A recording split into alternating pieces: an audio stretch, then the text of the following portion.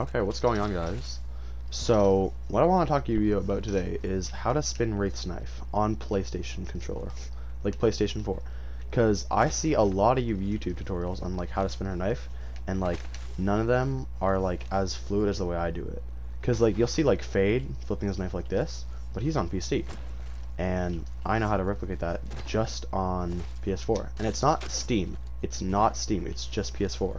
So there are like three knife tricks I like to do. The first one is, okay, first of all, in settings, um, auto sprint, you have to have auto sprint on, and survival slot button. Where is it? Survival slot button. I don't know, you find survival slot button, and you make sure that's off.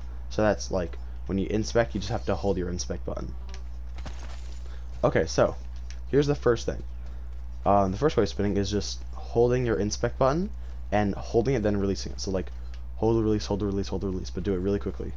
You'll get used to it. It takes takes a bit of time. This is like the normal flip. But then you'll see Faide flipping it like this and stuff. It's kind of horizontal. It's like jittery.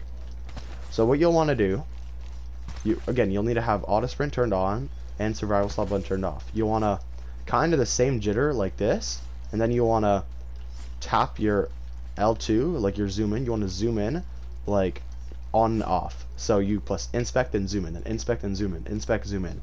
And you keep on doing that. And you just gotta get the timing really right. It's pretty simple once you get the hang down of it. Like, it took me like a week to learn perfectly. And yeah, once you do it, you'll feel like a fucking sweat just like Faide and shit. Okay, yeah, have a good day.